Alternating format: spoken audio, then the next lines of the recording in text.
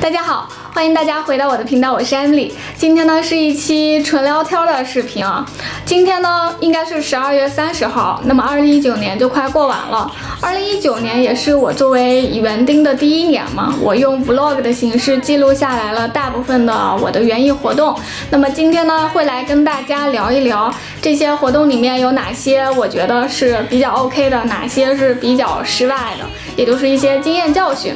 然后呢还有一个年度最爱植物的环节。那我的年度最爱呢是跟彩妆博主们学的，也就是说我会分一些不同的品类，然后来告诉大家我觉得最值得种。我种了之后最喜欢的植物有哪些？第三个呢，还会来宣布一个跟本频道的内容有一些关系的消息。呃，如果大家对我的视频有了解的话呢，知道我是根据不同系列来更新的，包括周末花园日常、家庭园艺日常、全年播种日常等等等。今天我会宣布要新开一个新的系列，然后这个系列呢也跟大家会有一些关系，我会在本视频的末尾来给大家揭晓。我认为二零一九年我做的最差的地方应该是组盆吧。组盆去年我是从二月份开始做的，然后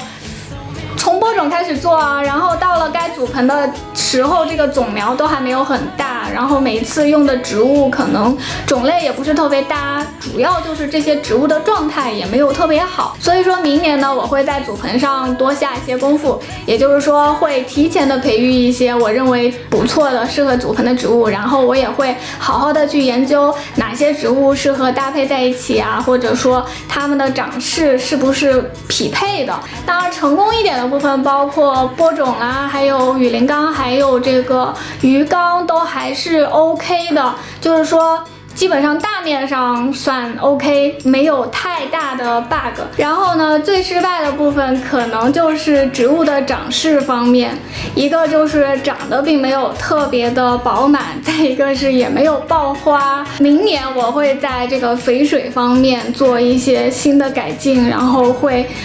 微的增加我对它们的这个照顾的频率吧。啊，那么这个是今年的经验和教训。然后接下来呢，就来给大家分享一下我今年最喜欢的各种品类的植物是哪一些。首先，先从吃的来讲吧。吃的话，大家应该猜到了，我推荐的就是原子葡萄的这个传家宝番茄，因为原子葡萄确实是长势很 OK，然后挂果也很多，果子也很美，然后果子也很好吃。如果说非要说有什么缺点的话，就是它可能比较容易患病。嗯，如果大家要培育这个原子葡萄的种苗的话，最好是，呃，多种几颗，就是播种的时候多种几颗作为这个备用。那我去年就是播了四颗，最后是有一颗是种成功的。再来推荐一下室内可食用的植物啊，就是这个，嗯，大家都知道我在做水培的一个项目嘛，然后现在大家看到的是。三周大小的一个 T 他们家的一个奶油生菜，如果大家去搜这个种子，应该都是能搜到的。我觉得这个奶油生菜它的长势很 OK，然后纯水培的情况下，三周就能长这么大，那这还远不到采收的时候嘛？我觉得这个品种是我推荐的室内可食用的植物。要说一下室外观花的植物，那么这个先要从灌木来讲，灌木讲我。觉得最推荐的就是石罗普郡一少年的月季，奥斯汀老爷子也是来自于石罗普郡的嘛，的一个少年。虽然现在他已经先去了，但是这个植物其实就是他的一个象征吧。我觉得石罗普郡一少年的特点就在于你不用给他那么好的一个条件，它依然是可以存活，然后可以生长的非常好。因为我给它的地方阳光也不够，通风也不够。依然还是长了很多的长的枝条，那么明年肯定是可以开的，所以说这个确实是我很推荐它的一个理由，抗病性非常好，因为长了红蜘蛛不 care，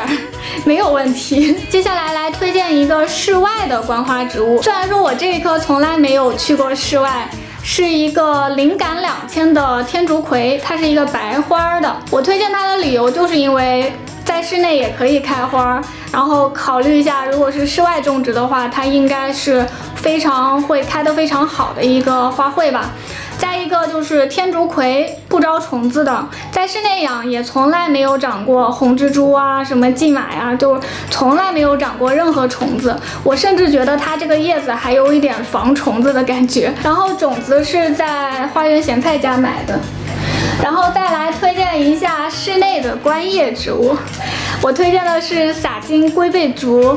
嗯，应该可以看出来为什么我喜欢它吧，因为它确实长得很漂亮。然后这一颗的价格当时应该是两百八十块钱吧，呃。我觉得价格上虽然是有点贵，但是不像白龟那样贵的那么离谱，所以说这个还是可以接受的。那么二零一九年推荐的年度植物就到这儿了，啊，接下来来说一下跟本频道有点关系的一件事情，就是我会增加一个新的系列。那么这个系列呢，名称还待定，可以大家来帮我想一下。就是说我会接受大家的投稿，把你们的这个花晒到我的频道来。呃，其实就是视频类的投稿啊，呃，因为我发现有很多小伙伴在我的微信群里面晒花，然后晒菜，或者是晒各种，或者它的种植方法也好啊，所以我觉得，哎，何不让他们来我的频道来，